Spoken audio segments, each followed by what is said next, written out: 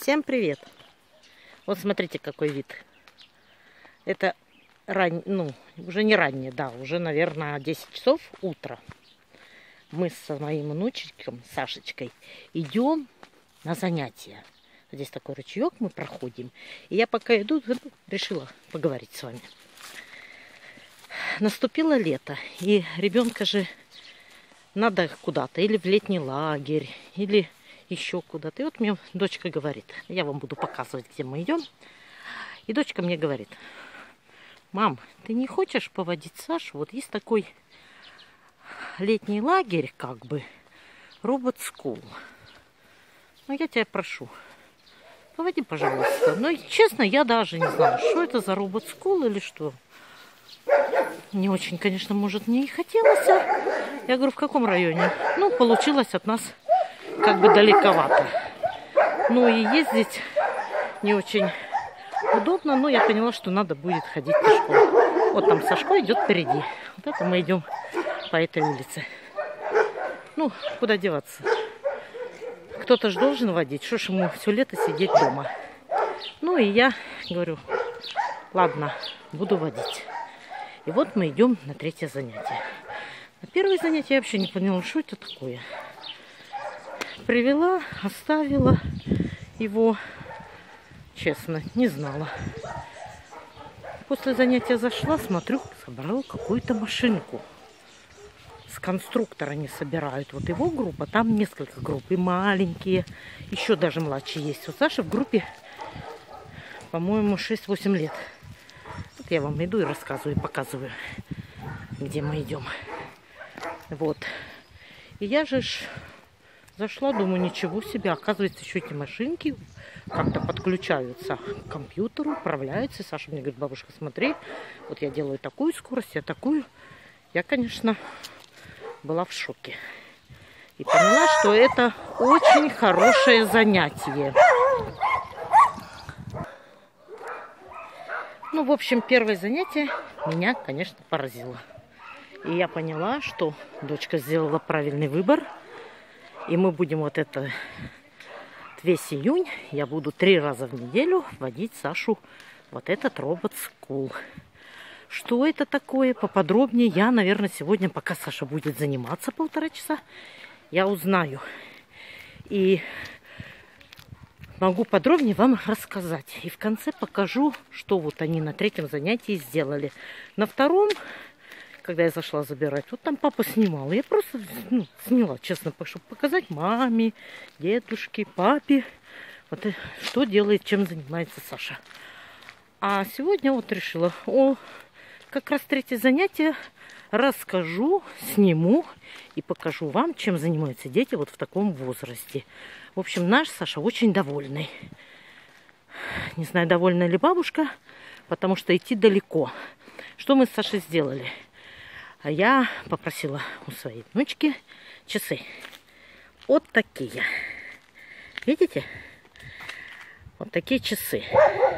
Я по ним решила засечь, ну, сколько же ж мы с ним пройдем. Вот сейчас 1,6. Дома я уже находила километр. И вот мы с Сашей решили замерять расстояние, на какой же мы ходим. Сколько же день проходит бабушка. Потому что вот мы идем, и они считают. Ну, все дома как-то сказали, о, бабушка, ну, будешь далеко ходить, похудеешь. Всем как-то очень хочется, чтобы я похудела. Хотя по своей программе я чуть-чуть похудела, но не сильно у меня получается. Хотелось бы еще больше. Вот смотрите, как около домов люди молодцы, стараются облагораживать. Вообще я люблю эту улицу у нас в городе. Эта улица называется Далекая. Когда-то она была окраиной города. Вот эта улица тут как-то все такие умнички. Всегда идешь, любуешься, как люди около домов облагораживают. Так что я засеку, сколько по километражу мы идем до занятия. Ну, естественно, обратно. И я думаю, что километров 7 я сегодня нахожу. Чем мне нравятся вот эти пешие прогулки? Положительное в них то, что когда я подумала, что буду Сашу водить, мы когда идем, мы с ним разговариваем на любые темы. А, вот э, про километры. Вот мы идем. Я ему рассказываю. Вот километре, столько-то метров. От дома, честно, мне некогда разговаривать. Говоришь на какие-то обыденные вещи. Вот с внучкой, вы знаете, я все время ходила пешком на тренировки. Мы учили стихи для школы, таблицу умножения. Вот это настолько хорошо, когда общаешься с ребенком. Вот есть время, чтобы пообщаться с ребенком. Вот именно вот эти полчаса, в которые можно просто о жизни поговорить. Научить переходить улицу, сказать, что вот тут остановись, тут же посмотри в обе конца. Потому что ну, в обыденной жизни не хватает времени. Сильно мы много стали заниматься, ну, даже телеви... ну, вот видео всем, что с ребенком некогда поговорить. А вот тут вообще, по-моему, самый положительный момент не то, что бабушка будет накручивать километры, а то, что я буду разговаривать с Сашей побольше о жизни. Так что, в общем, мы идем в Робот School. Я вам еще немножко покажу, а в следующем видео я вам расскажу, чем занимаются дети в этой школе. Ну вот мы подошли к этой школе. Пришли чуть рановато. Робот School еще осталось 15. Вот, вот их вывеска.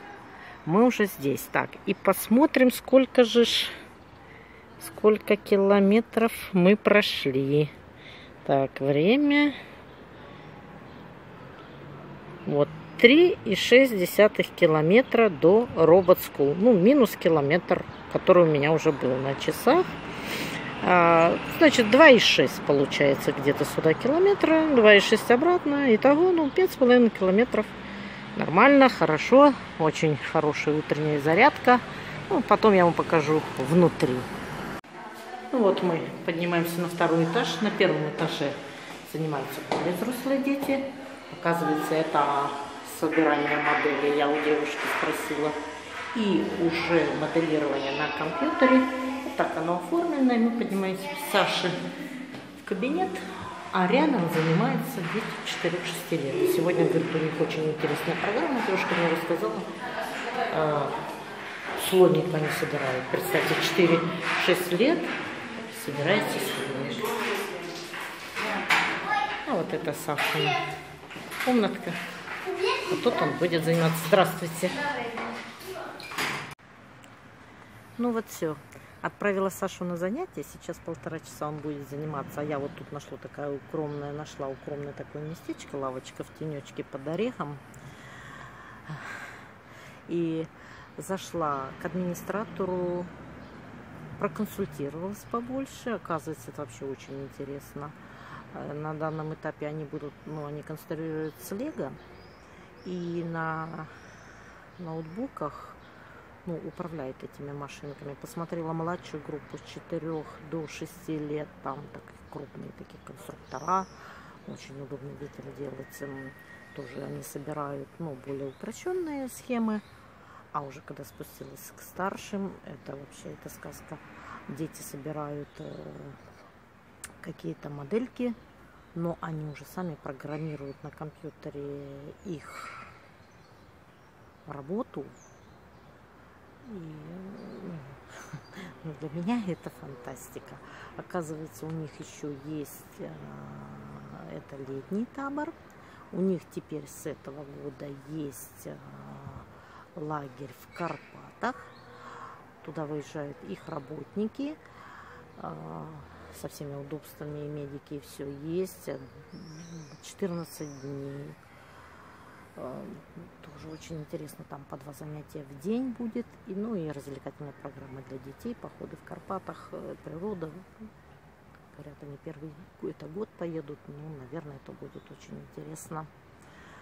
Вот. И есть э, школьный учебный год, у них тоже, оказывается, занятия. Ну, один раз в неделю, ну, это правильно, потому что уроки больше, наверное, невозможно будет посещать. Так что мы, вот, слава богу, попали сюда. И Саше это очень нравится. И, наверное, мы будем думать о том, чтобы с сентября, вот, по выходным именно, водить его в эту школу. Так что, видите, нужно все слушать, все узнавать. Жизнь продолжается. Я очень рада, что мы попали сюда. Всем пока. Смотрите. До следующих встреч.